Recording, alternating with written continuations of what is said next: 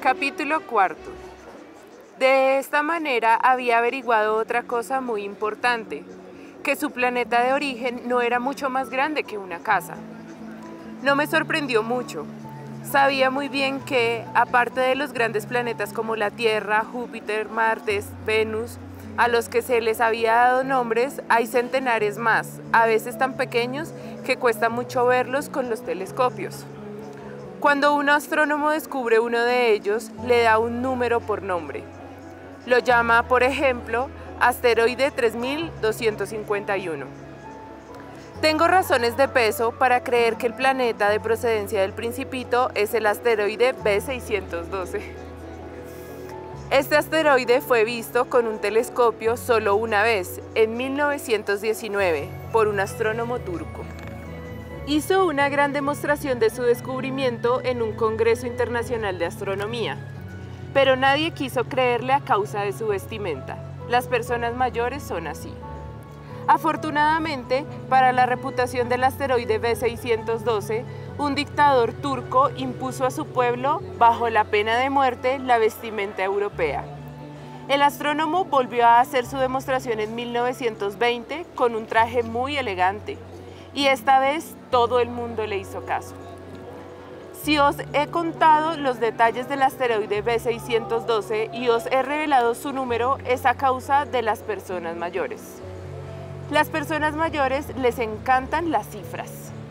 Cuando les habláis de un nuevo amigo nuestro, no os preguntarán jamás acerca de lo esencial.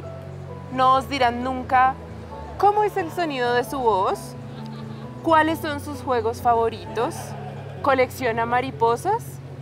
En su lugar preguntarán, ¿qué edad tiene? ¿Cuántos hermanos tiene? ¿Cuánto pesa? ¿Cuánto dinero gana su padre? Solo entonces creerán conocerle. Si les contáis a las personas mayores, he visto una hermosa casa de ladrillos, rosas con geranios en las ventanas y palomas en el tejado, serán incapaces de imaginarse la casa.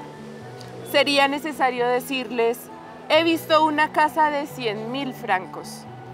Solo entonces exclamarán, ¡qué bonita!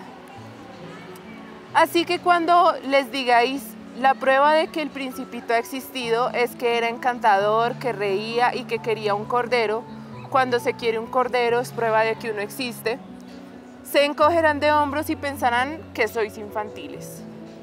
Pero si les decís, el planeta de donde venía es el asteroide B612, se quedarán convencidas y os dejarán de molestar con sus preguntas. Son así. No hay que guardar rencor por ello. Los niños deben ser muy tolerantes con las personas mayores. Pero claro, nosotros, los que comprendemos cómo es la vida, nos burlamos de los números me hubiese gustado comenzar esta historia como los cuentos de hadas. Me hubiese gustado decir, era así una vez un principito que vivía en un planeta apenas más grande que él y que necesitaba un amigo. Para los que entienden la vida, esto había tenido un aire más realista.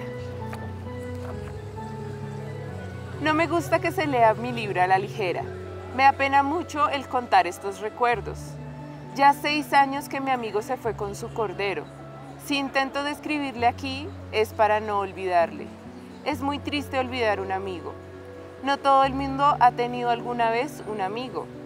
Y puedo acabar volviéndome como las personas mayores, que nos interesan más que por las cifras. Por eso he comprado una caja de lápices de colores. Es difícil volver a ponerse a dibujar a mi edad, cuando no se han hecho más que tentativas de las de una boa cerrada y una boa abierta a la edad de 6 años. Intentaré naturalmente hacer los retratos lo más fiel posible, pero no estoy segura de que lo consiga. Cierto dibujo no puede quedar mal, pero otro a lo mejor no se parece mucho a la realidad. También cometo errores en cuanto al tamaño. En este de aquí el principito es demasiado grande, en aquel otro es demasiado pequeño.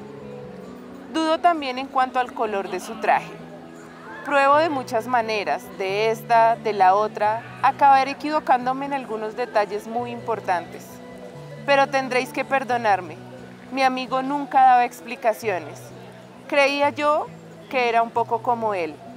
Pero por desgracia, yo no sé ver un cordero a través de una caja. Puede que sea un poco como las personas mayores. He debido envejecer.